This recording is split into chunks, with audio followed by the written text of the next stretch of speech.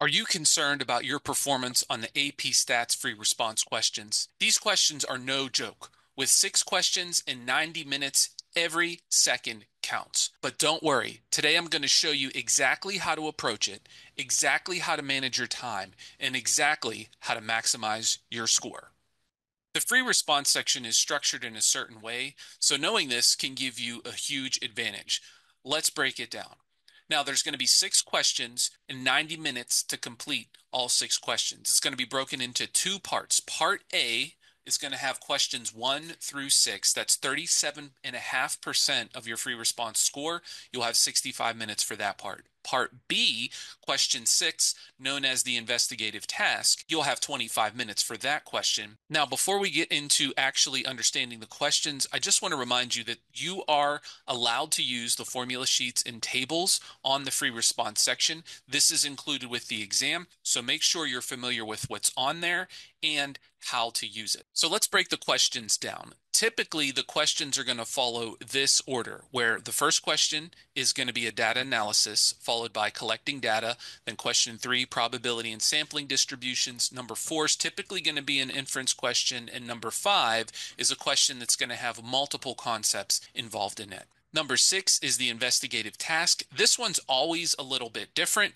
So I want to break that down for you first. The investigative task which is part B. You'll have 25 minutes for this one. It's going to assess multiple skill categories and content areas, so it covers a wide range of concepts. It's going to focus on the application of skills and content in new contexts or in non routine ways. So often you will see questions on the investigative task for things that you have not learned in statistics, but you have enough information and understanding to be able to walk through the question and they will give you enough guidance. Here I have a screenshot of the directions, just one question, but it's going to have multiple parts. Also, with the free response questions, you don't have to go in order. So some students like to have a different strategy for this.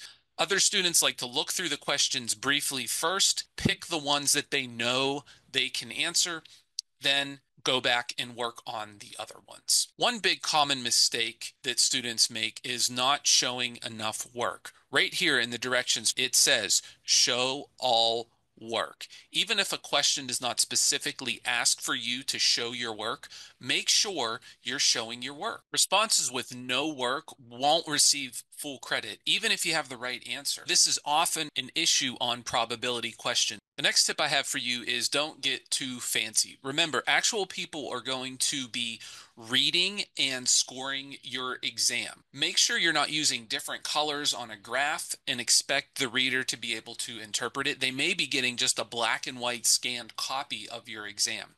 Don't waste time erasing. It's hard for AP readers to determine what's erased and what's not erased, what's lit, written lightly. Instead, cross out your wrong answers and draw arrows to help AP readers follow your work. Now, let's talk about how to approach your answers to make sure you're hitting all the right marks. There are a few key things to keep in mind to make sure you communicate clearly and get the best score possible. Let's go ahead and break it down. First, read the question carefully. Make sure you're answering exactly what's asked. It's easy to miss small details, so make sure you take your time. Next, watch your vocabulary and symbols. Misusing terms like bias or confounding can hurt your score. It's better to explain things clearly than to rely on statistical jargon. Also, avoid using symbols like sigma or p hat without the numbers substituted in. Show your work with real numbers. Next, give a complete answer. AP readers can't fill in the gaps for you, they can't do your thinking for you. Give enough detail so that they can accurately score your response. Even if it seems obvious, remember, the clearer, the better. On the flip side of that, don't over explain things. Stick to answering what's asked. Don't feel like you need to fill all the space on the paper. Sometimes there's going to be more space than is necessary to answer the question. So don't feel like you're doing something wrong if there's additional space on the paper after you've finished completing your response. And finally, keep everything in context. Make sure you include the variable names and the group names to help frame your answer. Remember, context makes it clear what you're talking about, and often there are points associated with giving the correct full and complete context. Let's talk about how to handle data analysis questions. These questions come up a lot, so it's important to know what graders are looking for. First, when you're describing a distribution, make sure to mention shape, center, variability, and outliers, and always include the, include the variable name for context. Next, if you're comparing distributions, use comparison phrases like greater than or about the same. Describe the shape and unusual features for each group and don't just list them. Actually compare them. Use both variable and group names. Also, if you're interpreting the slope or y-intercept from a regression line, make sure you're using non-deterministic language like predicted when describing trends, and so you're phrasing it not as guarantees. Also, if the question says to calculate and interpret, make sure you're doing both. A great tip is to circle the word and in the directions so you don't forget. And last, never say that a distribution is normal. It's only ever approximately normal. And don't make that call from a box plot because box plots don't show peaks or gaps. Now let's go over some data collecting questions. These often trip students up, so here's what to watch for. First, don't mix up the vocabulary. Stratifying is for sampling, while blocking is for experiments. Don't switch those around. Also, use the right term for the right context. Next, if the question asks you to choose between options, be sure to explain why you picked the one you picked and why you didn't pick the other ones. And also, if you're asked to describe a method for random selection or assignment, be specific. Say whether it's with or without replacement, and include how you would do it, whether it's a random number generator, a random digits table, or slips of paper. And yes, if you use slips of paper, don't forget to mention that you'll shuffle those. Next up, probability questions. These can feel tricky, but here's how to handle them with confidence. First, always show your work. Even if the answer feels obvious, you need credit for your method, not just your final number. Next, for random variable questions like normal, binomial, or geometric, make sure to define the variable, state its distribution, and write a probability statement that includes the boundary and direction. And for normal distributions, draw a clear labeled graph. Also, if you use your calculator, be sure to write out the full command with labels, not just what you simply enter into the calculator. Also, be specific about which distribution you're talking about, the population or the sample or the sampling distribution of a statistic. Don't just say the distribution. If you're stuck on an earlier part, make up a reasonable value so you can keep going. Just remember probabilities must be between 0 and 1. And don't quit. Sometimes the last part might be the easiest. And if you use a wrong answer from a previous part, but use it correctly in the next part, you will earn credit for the correct use of that incorrect answer. Let's talk about inference questions now.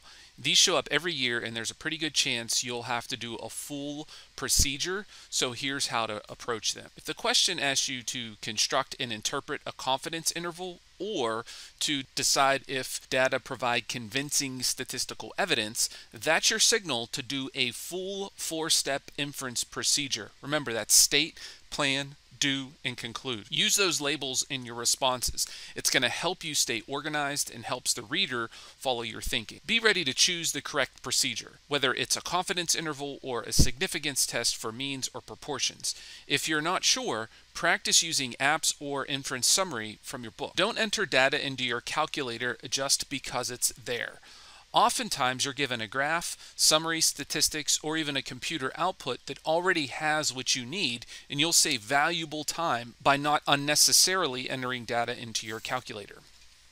Next, make sure you only interpret the p-value or the confidence level if the question specifically asks you to.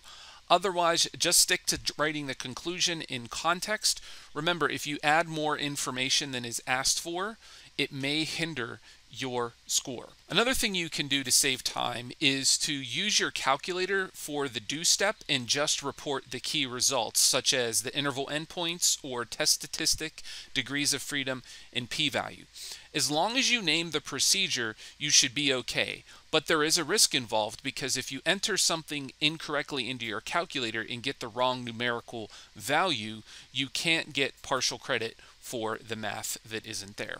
Don't fight the question. What we mean by this is if the conditions are met and it says that in the setup to the problem, accept it and move on. You don't have to waste time checking those conditions.